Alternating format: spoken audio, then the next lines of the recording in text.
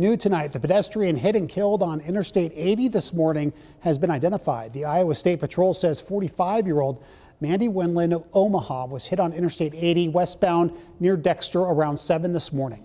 A crash report says there were two people walking along the side of the interstate. Wendland entered the road and was hit by a transit van. The Iowa State Patrol is still investigating.